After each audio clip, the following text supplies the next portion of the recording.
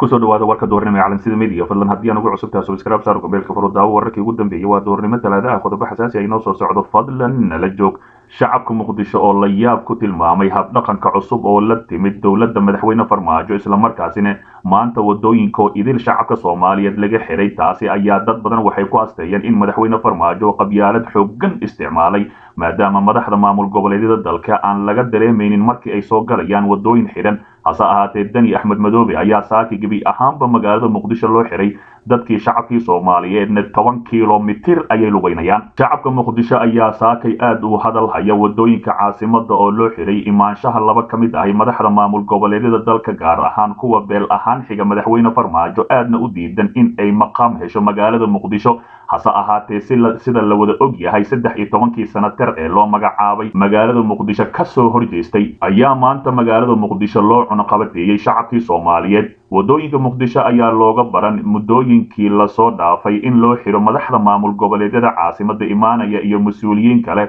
Waxaase maanta fajac la noqotay shacabka soomaaliyeed ee reer muqdisho in waddooyinka loo xiro dani axmed madoobe islamarkaasina ay ku qasabtay ilaa toban kilomitir inay shaqooyinkooda u lugeeyaan dadka muqdisho ayaa saaki ku soo toosay waddooyinka caasimada qaarkood oo la xiray lana soo dhigay ciidamo aad u fara badan waxaana dadku danta ku qasabtay in ay u lugeeyaan goobahooda shaqo goobaha caafimaadka iyo goobaha waxbarashada. Goobaha fadhi ku-dirirka iyo baraha bulshada ayaana aad loogu hadal hayaa habdhaqanka cusub ay la timid dowladda madaxweyne farmaajo ee ku aadan in waddooyinka caasimada loo xiro laba hogaamiye goboleed islamarkaasina hogaamiyaasha kalena aan marnaba loo xirin. Dadka qaarkood ayaa sheegay in ay la yaaban yihiin sababta dowladda uu hogaamiye madaxweyne farmaajo u kala soocaysa madaxda maamul goboleedyada qaarna waddooyinka ugu xirayso qaarna aanba la dareemaynin in ay caasimada yimaadeen. Aniga waxaan la yaabanahay in waddooyinka caasimada loo xiro laba hogaamiye oo ka soo horjeedo maqaamka caasimada iyo in matalaad ay hesho waxa ay tani ceeb ku tahay duqa muqdisho oo ogolaaday in shacabka uu maamulo loo silciyo kuwa aan raalli ka ahayn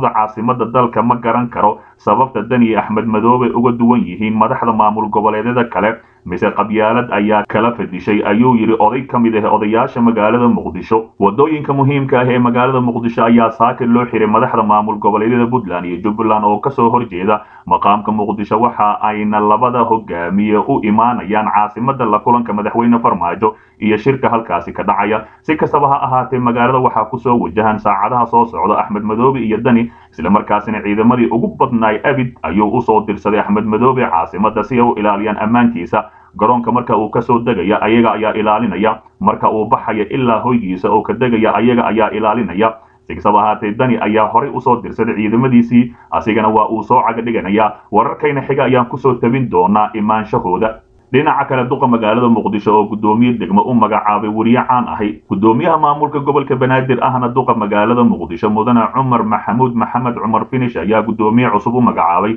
degmada shibis ee gobolka banaadir. Wareegto ka soo baxday xafiiska duqa magaalada muqdisho ayaa waxaa xilkaasi loogu magacaabay cali maxamed cabdulle cali soomaali. Guddoomiyaha gobolka banaadir ayaa sheegay in baahi weyn loo qabo in la dardar geliyo howlaha maamulka degmada shibis kadib markii bishii abriil ee sanadkani ka xilka laga qaaday guddoomiyihii degmada mudane cabdiraxmaan sayid cali sidoo kale wuxuu faray guddoomiyaha cusub inuu xilka xilka si deg deg ah ula wareego iyadoona laga codsaday laamaha amniga inay si dhow ula shaqeeyaan. Cali soomaali ayaa ahaa weriye ka shaqaynayay gudaha dalka gaar ahaan idaacadda shabeelle inkastoo markii dambe uu waxbarasho u aaday dalka dibaddiisa gaar ahaan bangaladesh wuxuuna ku soo diyaariyey heerka labaad ee jaamacadda. Dhinaca kale xog xasaasi ah maamulka gobolka gedo oo sheegay inay ka go-een maamulka jubbaland ee axmed madoobe. Maamulka gobolka gedo oo taageersan dowladda soomaaliya oo shir ku yeeshay magaalada beled xaawo ayaa sheegay inaysan hadda kadib ka mid ahayn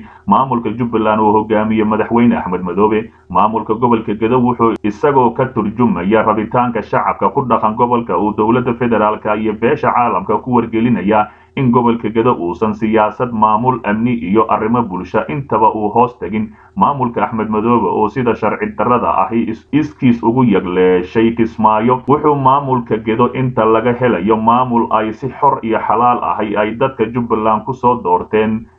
sii wadi doonaa gudashada howlaha u yaalla ayaa lagu yidhi bayaan ka soo baxay shirkaasi. Maamulka gedo ayaa sidoo kale sheegay inay ka digayaan qorshe ay sheegeen in kuraasta baarlamaanka federaalk ee deegaan doorashadoodu tahay gobolka gedo loogu wareejinayo magaalada kale magaalooyin kale ee uu gacanta ku hayo madaxweyne axmed madoobe sida magaalada kismaayo waxay sheegeen inay soo dhoweynayaan go'aanadii ka soo baxay shirkii dhuusamareeb saddex ee la xidhiira doorashada dalka ayna diyaar u yihiin inay fududeeyaan sidii gobolka doorasho heer federaal ay looga qaban lahaa. Qoraalka ka soo baxay shirka ayaa sidoo kale baaq loogu diray isimada iyo waxgaradka puntland iyada oo laga dalbaday inay gacan ka geystaan sidii maamulka puntland u joojin lahaa waxa ay ugu yeedheen faragelinta qaawan ee ku hayaan arrimaha jubbaland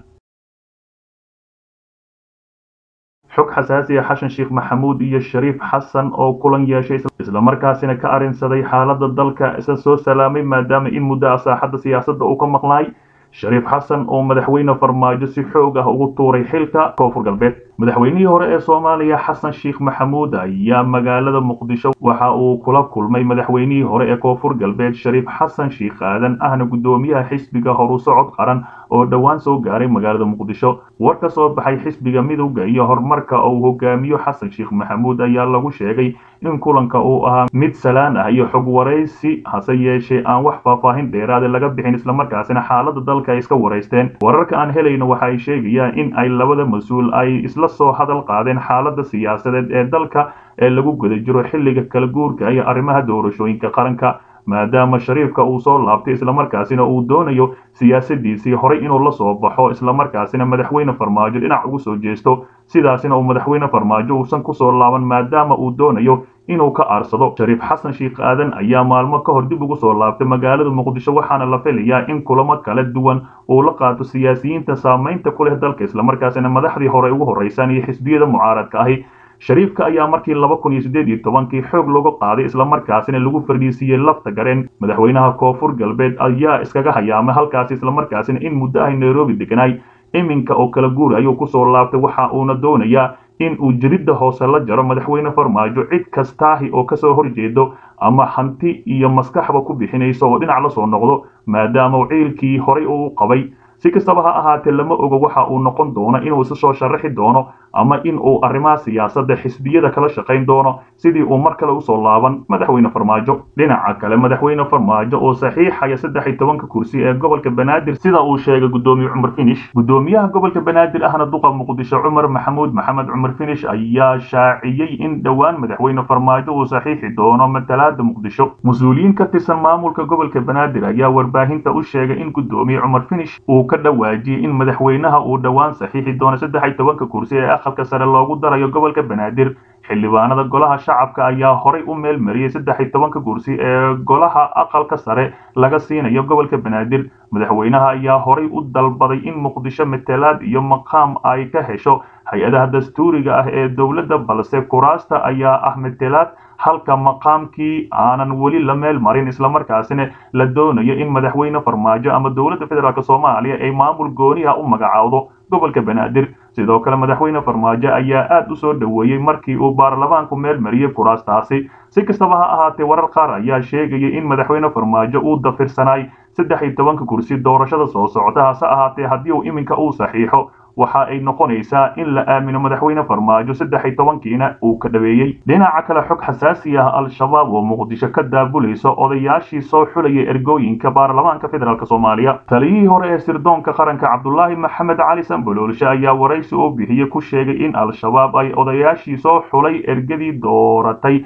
xildhibaanada hadda jooga ee baarlamaanka ka daadguraynayso magaalada muqdisho sambololsha oo si weyn uga soo horjeedo madaxda talada haysa kana tirsan xisbiga nabadda iyo horumarka ee xasan sheekh maxamuud ayaa ka walaacsan sida uu hadalka u dhigay doorka ay kooxaha argagixisada ku yeelan karaan codaynta soo aadan. Sidoo kale wuxuu si weyn uga soo horjeestay hanaanka deegaan doorashada wuxuuna aad uga baqayaa in xarakada al-shabaab ee xiriir kale leh ururka alqaacida ay xubno ku yeeshaan baarlamaanka soo socda ee cusub. Sideedaba doorashada waxay ka dhici kartaa meel ay amisom joogto marka laga reebo deegaanada puntland iyo qaybo ka mid ahi galmudug suuragalna ma ahan in gobol kasta ay afar meelood ka joogaan amisom sidaad la socoto al-shabaab. Ra'yi kama haysan doorashada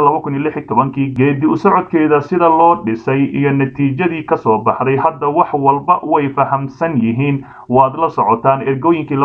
tobankii. Dhammaantood waa loo yeeray toddobaadyadii la soo dhaafay magaalada muqdisho waxaa laga daabulayay odayaal. Sidee doorasho aysan saamayn ku lahayn al-shabaab loo qaban karaa? Ayuu yidhi samboloolshe oo fadhiya t v-ga soomaali kaybal ugu dambayntii samboloolshe waxa uu aaminsan yahay haddii doorashada sida hadda loo wado ay u dhacdo aysan dowladda soo socoto ka marnaan doonin ururka al-shabaab dhan walba. Hadday noqoto xagga siyaasadda ammaanka iyo farsamo ahaantaba islamarkaasina halkaasi khatar dowladnimo ee ku jirto maadaama ururka al-shabaab ay dhammaanba soo dhex galayaan waxay rabaanay ka fushan karaan